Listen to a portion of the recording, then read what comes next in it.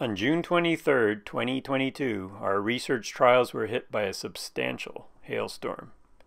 The main farm site was hit the hardest, where we had trials consisting of oats, wheat, barley, canary seed, and flax.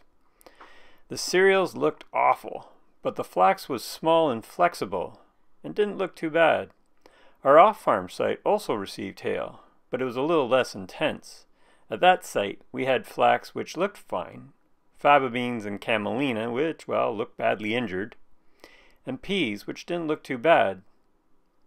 The canola was all right as well, as it was at a very young stage, and I knew it would be fine.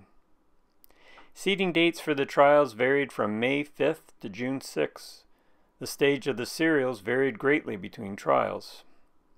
Now, not wanting to let a good crisis go to waste, I thought I would try to document the recovery of the various crops and try to get a sense of how the crops at various stages recovered. Now this presentation is of our experience with hail at the farm and is more of a story than a, something with scientific rigor. However, at the end of the story, you may feel you have learned something, even if you haven't. The problem is that there are too many confounding factors, as each trial has its own unique series of treatments. However, I would say most crops recovered well as our final yields were quite high, except for the faba beans. I was hoping to see a trend where late-seeded crops would yield more. A late-seeded crop would be at a younger stage and more resilient to hail. This trend appeared to be the case for wheat, as the late-seeded, less advanced wheat was higher yielding.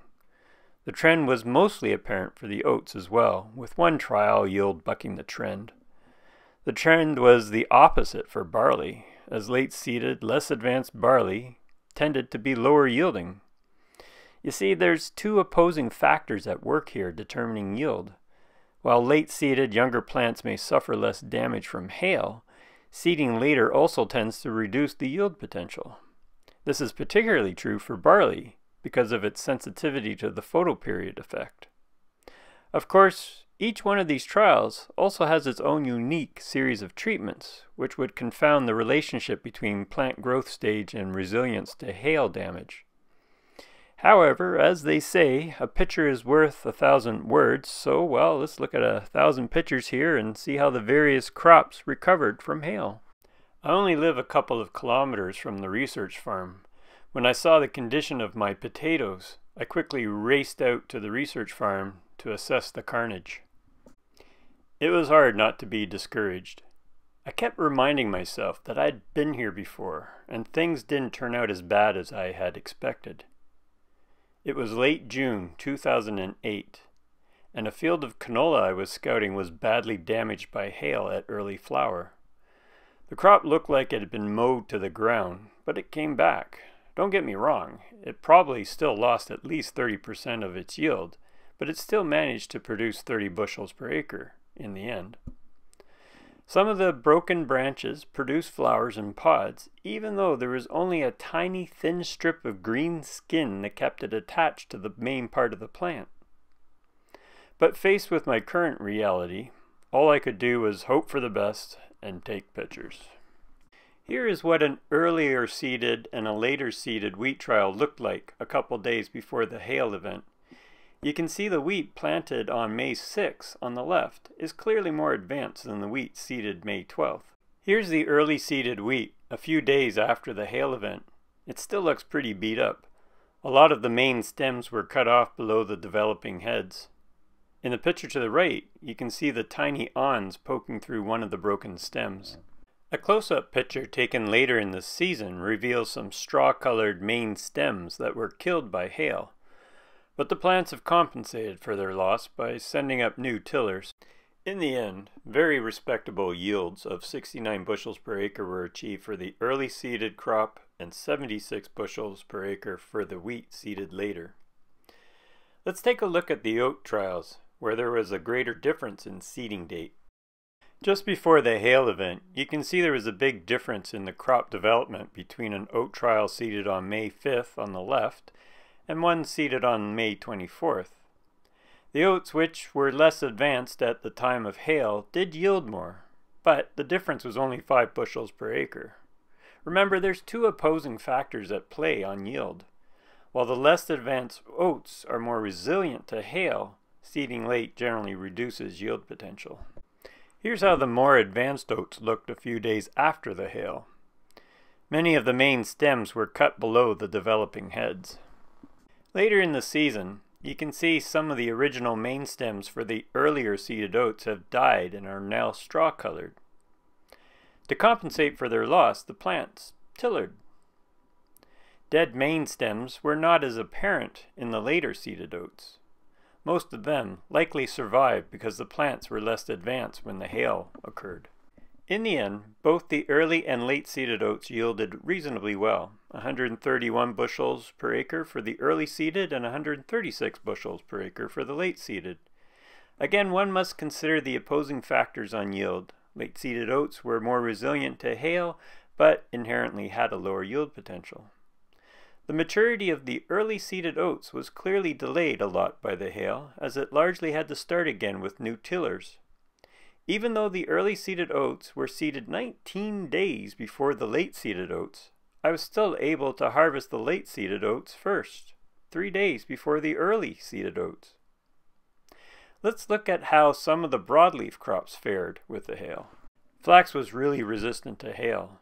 This picture was taken four days after the hail, and there's little damage to observe. The flax was already standing back up. In the end, the trial averaged 39 bushels per acre. Faba beans with their big succulent stems didn't seem to handle the hail very well.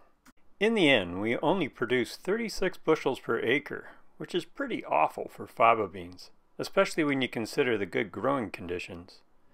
A local faba bean producer agreed that faba bean don't handle hail very well.